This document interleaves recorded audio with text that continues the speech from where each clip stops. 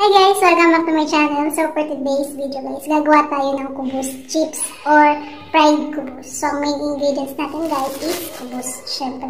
So sa mga hindi nakakaalam kung ano po ang kubus, ito po ay Arabic bread. Dito sa Saudi Arabia, ito po yung kinakain ng mga Saudi. So dito po sa Saudi, maraming mga kubus na nasasayang or hindi nakakain. So ang ginagawa namin mga Pinoy, ay nire-recycle namin siya. So, ang gagawin lang natin dito is ikakat natin ng uh, maliliit. Depende sa chips na gusto natin and then ipa-fried natin. So, itong kubos na to is itatapon na lang sana namin to kasi yung kasama ko nagbuwi siya ng roasted. So, ito kasama sa roasted. Sayang naman kung itatapon namin kaya naisip ko, lutuin ko na lang. So, ang gagawin ko ngayon guys is dalawang um, dalawang flavor. So, gusto kong gumawa ng chips na hot spicy, tapos isasaw-saw sa suka, and then yung matamis, which is lalagyan din ng suka. So, let's go! So, let's start guys. So, ang una natin gagawin is ikakat natin yung kubos. So, meron ako ngayon ditong gunting. Uh, make sure na yung gagamitin yung gunting is malinis. So, yung paggupit natin ng kubos guys is depende sa gusto natin size ng chips natin. Ako, ang ginagawa ko is yung medyo maliit lang. Ayoko yung medyo malaki kasi para pag, ano, para pag kinain mo, yung isang subo lang, hindi na yung kagat ka ng kagat, para gano'n. So, una kong gagawin is ganito lang. Ayan. Gugupitin ko lang siya ng ganito. Ayan. Ganyan lang guys. And then, kapag nagupit ko na siya ng ganito, ang ginagawa ko, uh, i-square ko lang siya ng ganyan. So, bali, ganito lang kalaki yung chips na gagawin natin guys. So, ayun. Dire-diretso lang. Kapitin na natin siya ng kapitin.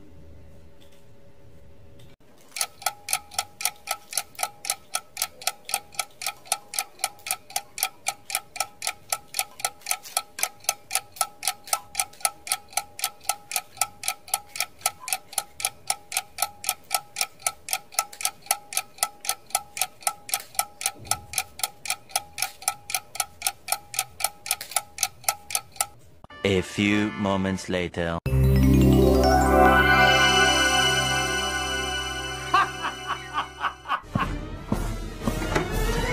All right, let's do this. Let's do it.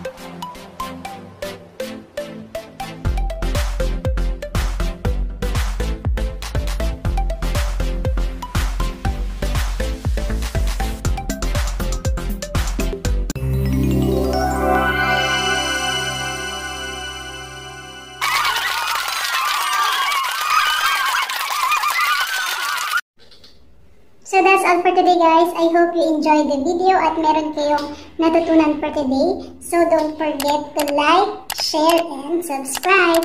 So kita-kits na lang tayo sa mga next ko pang videos. Bye!